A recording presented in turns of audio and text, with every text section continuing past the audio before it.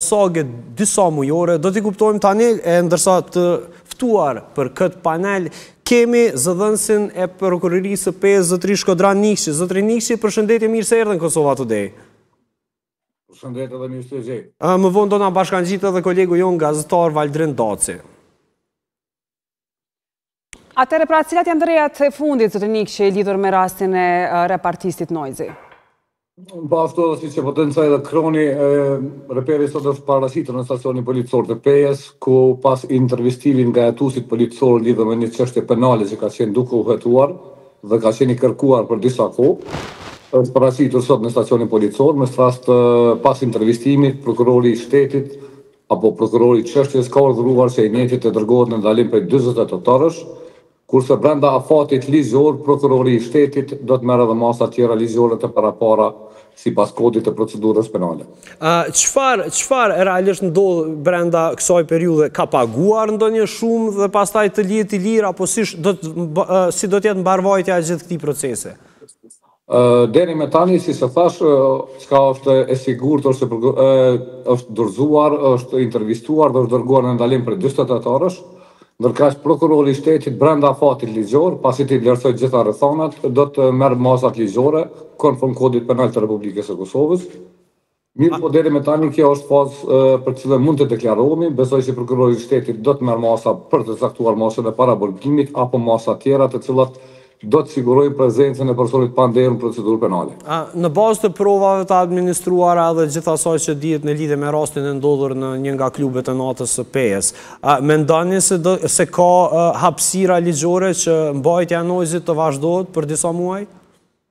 Për këtë çështje do të vendosë prokurori i shtetit, siç e thashë i njëjti është duke analizuar të gjitha rrethanat. Duhet potencuar se fillimisht i njëjti ka qenë i dyshuar për veprën penale lëndim i rëndë trupor dhe pasi që kemi pranuar disa ekspertiza mjekësore për viktima ku kanë rezultuar me lëndime të lehta, me siguri që vepra penale më vonë mund të rikualifikohet, mirëpo për momentin është i dyshuar për veprën penale lëndim i rëndë trupor. ndërsa prokurori i shtetit brenda afatit do të marrë veprime ligjore të cilat do të sigurojnë prezencën e të pandehurit në procedurë penale. Ndërkohë ishte edhe koinçidencë fakti se para pak ditësh u lajmërua Stresi ndërsa tash Noizi. Kanë lidhje këto dy paraqitjet e dy personazheve njëra me tjetrën? Po të njëjtit në të njëjtën për në çështje penale janë si persona të dyshuar, një, njëri për ndihmë për kryerjen e veprës penale lëndim i rëndë trupor, kurse tjetri për veprën penale lëndim i rëndë trupor. E mira e krejt kësaj është se të gjithë personat e e kërkuar apo krejt personat që janë të pandehur në këtë procedurë penale e, janë duke u paraqitur vetë në stacionet policore dhe njëkohësisht prokurori i shtetit është duke ndërmarrë veprimet e parapara ligjore konform dispozitave të Republikës së Kosovës Dhe shpresoj shpejt se kjo çështje penale do të marrë edhe epilog, pasi që shumica prej tyre veç se janë paraqitur, janë intervistuar dhe njëkohësisht janë siguruar prezenca e tyre në procedurë penale. E qartë, zotri Nikqi, faleminderit shumë që ishit pjesë e Kosova Today për ditën e sotme dhe qeni shumë korrekt gjithmonë. Faleminderit dhe juve, punë të mbarë. Në lidhje kemi edhe zotri Valdrin Dacin, gazetari i cili e ka përcjell nga afër ngjarjen, pra e kemi në Pejë. Valdrin, përshëndetje, a mundesh me na tregu prej burimeve tuaja të informacionit çfarë ke mujt me kuptu deri tash në lidhje me paraqitjen e Rigels Rajkut, i njohur si Noizy në prokurorinë e Pejës? Përshëndetje Koniel, për ju meqenëse jam lidhur me vonesë, vetëm mund t'ua konfirmoj atë, domethënë çka ka ndodhë, ajo çka ka ndodhë, është vetëdorëzu në praninë e avokatit është intervistu këngëtari Rajku i njohur si Noizy, por ajo mund t'ju them se çfarë po flitet, pas raportimit tonë, se është vetëdorëzu, në qytetin e Pejës, natyrisht se po pritet ajo çka ka ndodhë me ndodhë edhe me Noizyn, çka ka ndodhë dhe me Stresin, pra Qytetarët po mendojnë që të njëjtën gjë do të veprojë edhe Noizy, do të bëj të bëj përpjekje për të bëj për të bërë ndonjë ë dorëzim, ndonjë dorëzani prej ndonjë shume të hollash, edhe sipas gjitha gjasave kjo edhe mund të ndodhë. Pra, ajo çfarë mund të konfirmoj atë çka tha edhe vetë zotri Nikqi, ajo që ka ndodhë është vetëdorëzu në praninë e avokatit është intervistu, siç tha edhe Nikqi, domethënë ka ndodhë edhe kërkesa për masën e paraburgimit, por të shohim nëse do të ndodhë kjo apo jo. Por, Valdrin, ke pasur informacione se kush e shoqëroi në fakt Noizyn, sepse për Stresin e dimë që e shoqëroi babai i tij deri aty. Noizy nga kush ishte i shoqëruar?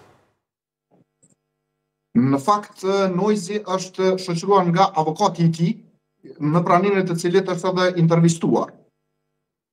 Po, pra nuk ishte familjar aty? Nuk ju dëgjoj? Nuk ishte familjar me vete? Nuk kemi parë. A, në, në, në, në këtë proces, që nga fillimi, kur, që nga agravimi i situatës, pra, në një nga klubet e natës së Pejës, i involvuar i krejt këtij procesi, por që nuk u fol shumë për të është edhe DJ i Noizyt, i cili vjen nga Kosova, emri i tij artistik është DJ Krax, ai i cili edhe qëndroi për disa muaj në paraburgim. E ke ndonjë informacion se ku ndodhet ky person aktualisht?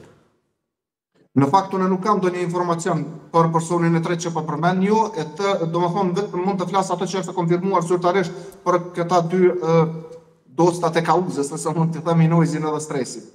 E qartë, nëse e shohim që nga momenti i arrestimit apo i dorëzimit në pranë organeve të rendit të Kosovës, stresi nuk i kaloi 48 orë intervistim dhe pas një periudhe prej 12-13 orësh, mund mos jem shumë i saktë, Ai jashtë afatit prej dyzet e tetë orësh, pra u lëshua.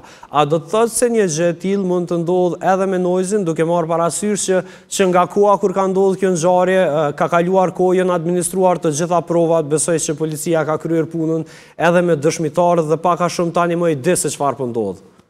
Çfarë ka ndodhur në fakt? Duke, duke pas parasysh që kemi tashmë një precedent edhe hiç më ndo, hiç më lart se 2 ose 3 ditë më herët, unë besoj që ajo edhe do të ndodhë, do të do të bëj përpjekje pala në këtë rast, pala ose përfaqësuesi i Noizit që të bëj kërkesë në mënyrë që të bëj pagesën e dorëzanisë dhe të vazhdoj edhe në atë procedurë siç ka ndodhur edhe Noizi. Sipas asaj çfarë unë mendoj është se kjo ka ndodhur me ndonjë me ndonjë short. Valdrin tani në këto momente kemi edhe edhe pjesëtarin tjetër i cili është pjesë e këtij incidenti në Pejë, Është zotëri Arkimed Lusha i njohur si Stresi? Stresi përshëndetje mirë se rikthehesh në Kosova Today.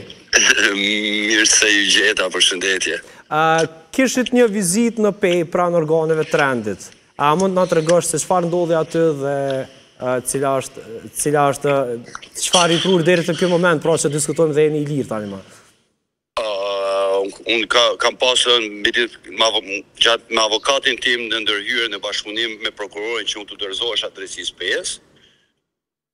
Kemi bo kërkesën që unë të visha në Pejë dhe të jepsha deklaratën time për ngjarjen.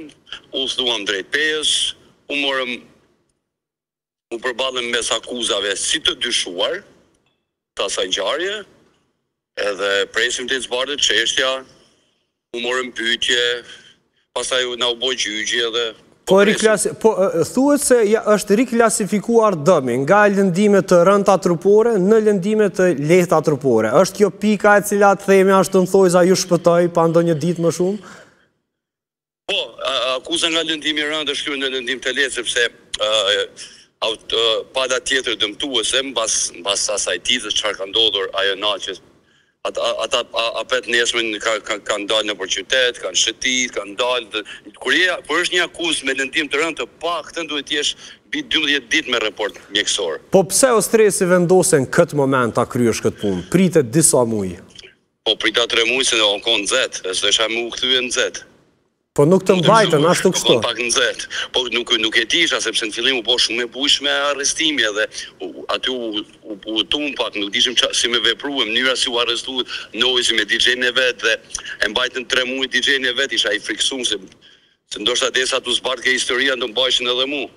Sa të ka kushtu krejt kjo sagë e ke humb komplet sezonin e verës Stresi. Paj ndashta se sezonin e kapim prap, nuk është problem hiç.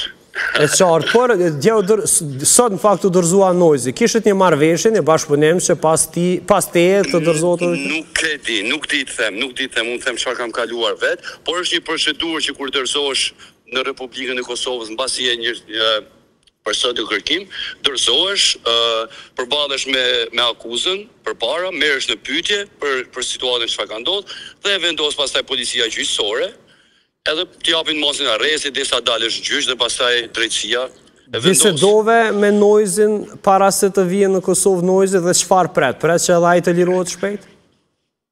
Jam qind për qind që do lirohet sepse nuk ka asnjë fakt ndaj tijna, janë vetëm fjalë që flitet ky ai e ky e ky dhe nuk besoj që drejtësia do mbajë te fjalët e dikujna, kështu që mendoj që që do dali sepse është i pastër se përderisa ka ardhur vet ka ardhur që t'i japi fund kësaj çështje dhe mbyllet shpresoj. E qartë, Stresi jemi krejt në fund Kosova Today, shumë faleminderit që pranove dhe ishe bashkëpunues. Ta. Ju përshëndes shumë Kosova Today, shihemi shumë shpejt. Faleminderit shumë, shihemi shumë shpejt, faleminderit shumë Valdrin do të shihemi edhe me ty shumë shpejt, kjo ishte e tëra sa i përket ditës së sotme.